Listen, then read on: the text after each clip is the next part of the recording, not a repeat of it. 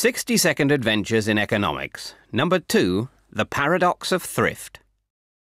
Much like a child getting his pocket money, one of the biggest economic questions is still whether it's better to save or spend. Free marketeers hmm. like Hayek and Milton Friedman say that even in difficult times, it's best to be thrifty and save. Banks then channel the savings into investment in new plants, skills, and techniques that let us produce more.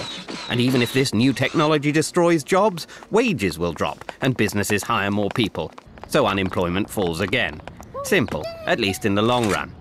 But then a live fast, die young kind of chap called John Maynard Keynes cheerfully pointed out that, in the long run, we're all dead.